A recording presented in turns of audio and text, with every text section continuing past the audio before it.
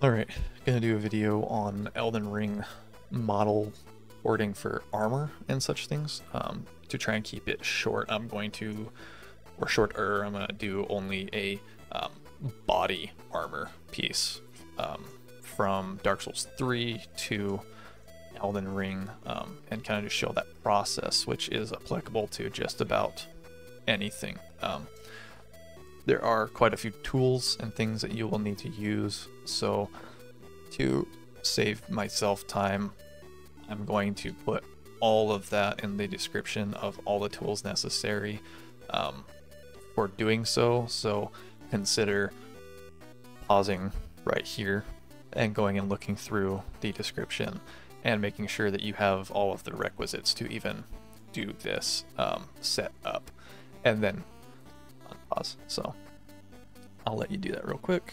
And there you go, assuming you did that or already have things set up. Here, here we are. Um, so what we will do now, assuming you've already looked and gotten all the other things, um, is I'll talk about my workflow really quick. I've just got my parts file for Elden Ring right here, and then I've got parts file for Dark Souls 3 because that's where I'm getting my models from. Anywhere you want to get your models from is fine, um, but I'm going to use Dark Souls 3 models because I like porting them, and that's how I learned how to do this. So, um, the first thing I actually did is I got the models for the set that I want to port. So I want to do the Black Knight set from Dark Souls 3. So I have the Dark Souls 3 set right here. All of it unpacked and still packed, just so I have backups if I mess up something.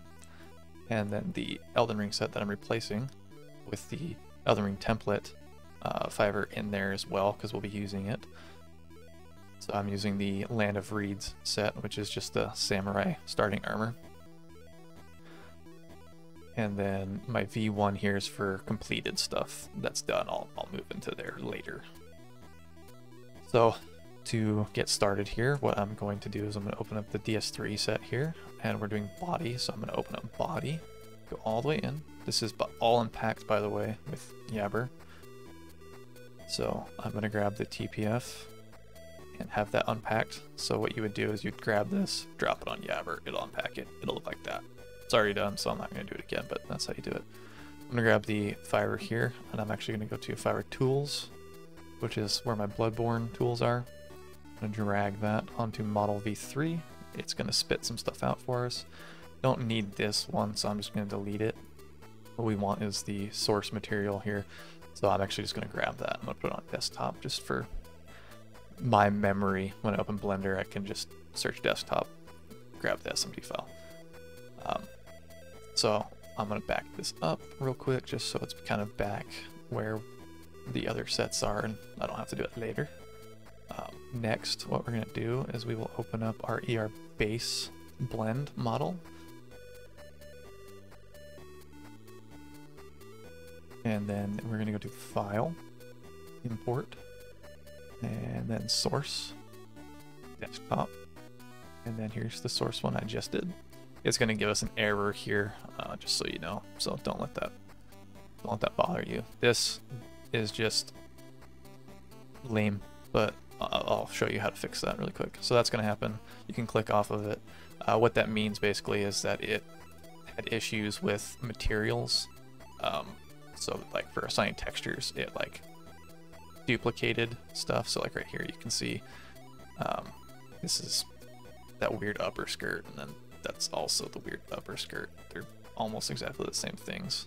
Um, and so it will have like bit up gibberish for the textures. So the first thing I always do when I import the model into here is actually start from the top here and I rename the um, materials. So these are like the upper arms. So I'm just going to click here and just do upper, no, I can spell, upper arms. And then this one is low skirt. And then this one is spikes. This one is body. This one is sides. This one is upper skirt.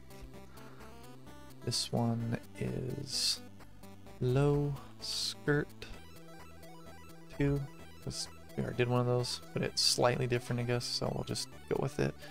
This is body two, just because it's body and we already have another body. This really doesn't matter what you name them, honestly. It's just that they each get their own name, so that way when you export it, it doesn't freak out and lose them. Um, I just name it what I see, so you can do whatever you want though. And then these are going to be flappies, or we'll do side flap, so it's different than the one that's just sides. And then this one is upper skirt again. Sure. So then I'm going to click on this. I'm just going to highlight all of them actually. Go to object and then I'm going to join them all together so they become one piece here. Um, from here, I'm just to, since we have it highlighted, I'm actually to go to UV, highlight all of that. And I'm to mirror it because the Bloodborne tool for some reason uh, flips those UVs when you turn it into a source material. So if you don't flip it uh, and then you try to apply textures to it, once it's in game and exported from here, it does not look right. So make sure you do that. That is important. Um, and then while we still have this selected, we'll control click on body, go to object again, link and transfer data, transfer mesh data, vertex groups,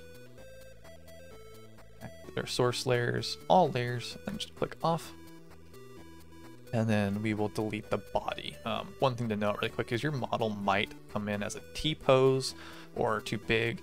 Um, that unfortunately is just an annoyance. There's not like an easy way to just snap it to the right size, I don't think, but I'm not a model expert. So you will have to take your model, um, maybe apply an armature modifier to it so that way you can uh, pose it to line it up a little bit better with the arms, get it in the A pose and that kind of stuff. But this is just going to be assuming that you've uh, gotten it to an A pose because I don't know super well how to get things to an A pose other than apply an armature and bring those arms down. So we'll go back over here and we're actually just going to delete the body now because the weight uh, data has been transferred over to it. Um, and what I always do at this point is I actually leave this open um, after I export it as an FBX here. I'm gonna just do Black Knight Armor uh, E for tutorial. I'm gonna put it in the armor projects and ignore these because those are me testing it earlier, make sure it even works. So export. So after it's exported, I actually like to leave this open in case there's a weight issue in game or anything like that so I can come in, check it, fix it, re-export it, and not redo everything I just did. So we'll just minimize that for now. We will minimize that one, and a lot of our work is going to take place over here now. So now we're going to go into our ER set that we are replacing. I'm going to copy the ER template real quick before we go into the body, which is what we're replacing. This is the Elden Ring part 1360. Uh, we're replacing it, so we're going to just delete the flver from in here, then paste the template, rename it to match, so BDM 1360, save that, and then we're going to drag that over to the editor, and then we will go down to import model, model stuff. We'll just work our way. Project armor. And then test armor. So it's going to pop in here. Apologize if you can hear voices outside of mine. I actually moved recently, so I have roommates now.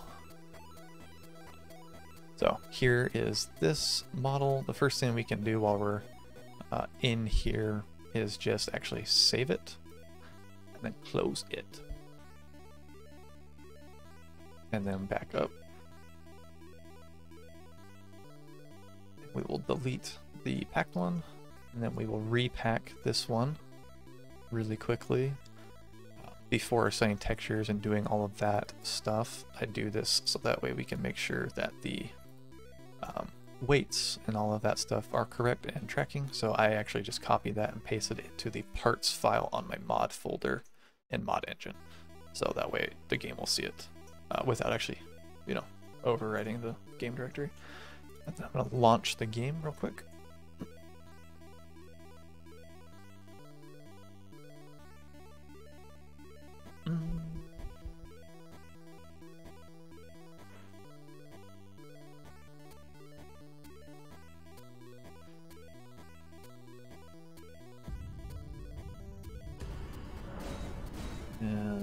I should already have the samurai armor on, so if it swapped, it should be immediate. Yep. So here we are. That, we'll just get rid of a few things here. Make sure it kind of looks a-okay. So what I'm seeing there is on the arms, um, it doesn't go super low. So, um, that's not a big deal, honestly. That is something that you'll probably encounter with many things that you port, um, because it goes down to meet the gauntlets for the set. So if you have the Black Knight arms on, then that should look fine. Um, but the biggest thing is just making sure that it tracks correctly, and uh, looks like it does. Nothing's clipping through the world or flying off into space. So we will go ahead and say that that is good.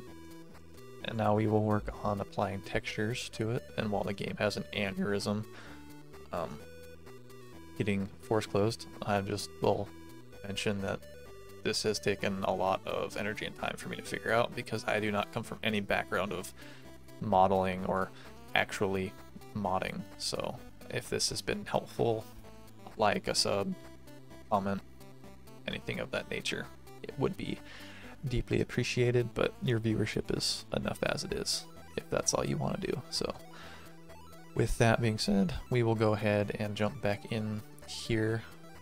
Um, we're actually going to go ahead and go into the Black Knight Dark Souls 3 set here for the body. We're going to go all the way in until we get to the TPF. We're going to do the same thing here. We grab the TPF, unpack it, get inside.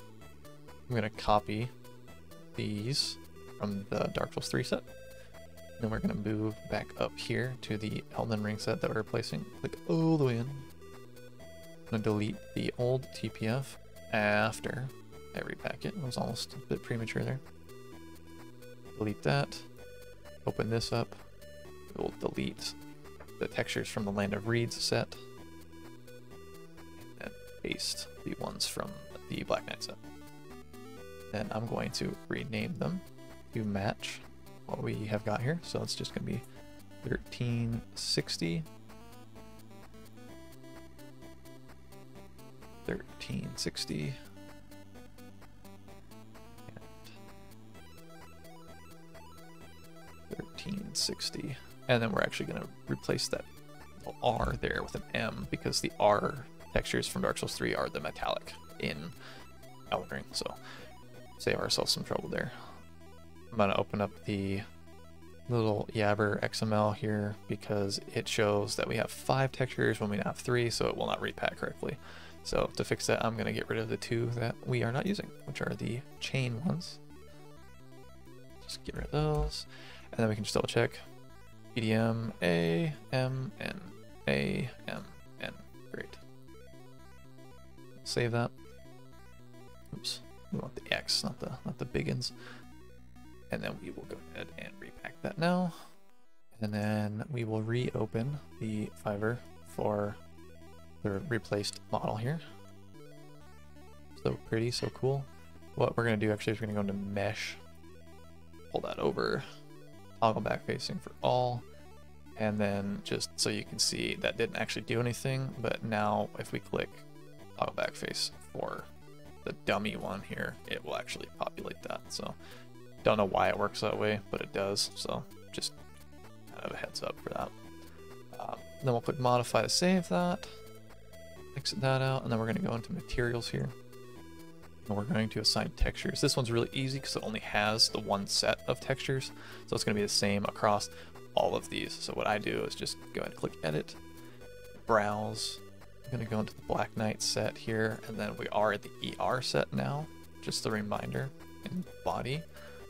all the way in to TPF, and then you can click on one, and then what I like to do is just click it and then press enter. Enter. Click enter.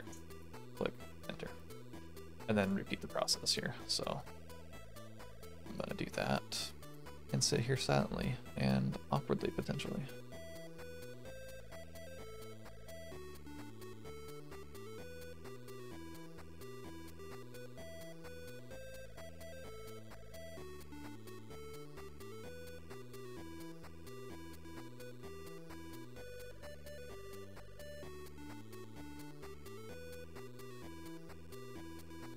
So, as you can see, it's quite thrilling to do this.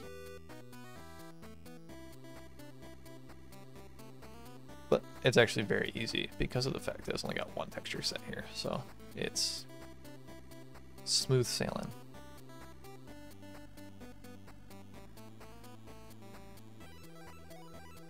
And then the last one here. Click modify to save it. I don't know if I actually saved it, but I always do after that. And then we'll click modify again here, because can't be too safe. Mesh, check. Eh, and it looks like it's populated textures now, because I repacked that other TPF already. Great. Well, we'll go ahead and close it now. Close it now. Close it now. And then we will back it up, Terry. We'll get rid of this one because that was our test one for seeing if it tracked. And then we will repack this one. Then copy this one. Paste this one, replace the old one. And then we will launch Elden Ring again. And then while it's loading, I'll do another little mention. Uh, a lot of learning this actually has come from server name Discord and the small Discord that I have made for my subs and other small modders. Um, it's pretty tight knit, a lot of help amongst smaller people all trying to figure stuff out together. So if that's of interest to join, there will be a link in the description as well. All right. That looks good. It's raining, so it's a little bit wet and glossy looking, but that ain't ain't shabby at all. Um, so if uh, you end up doing a model and you come in and the textures just don't quite look the way that you may have wanted, or it, they're maybe too dark because textures from Dark Souls 3 into Elden Ring tend to be a little bit darker than they are inside of um, Dark Souls 3. You can always open up those textures.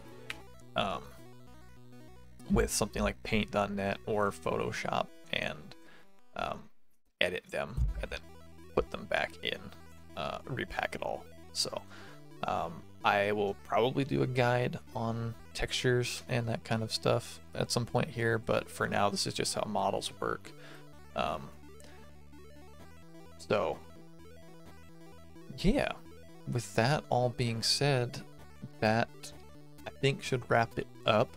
Um, you would just want to repeat that process with all of the different body parts if you're porting from um, a different Souls game or something of that nature. If you're doing one singular model that covers the entire character, then uh, you wouldn't really have to. And there's always um, Sky Moon's video and guide on doing that kind of thing. So um, just adding to the pool of resources. So um, yeah, hopefully that was helpful.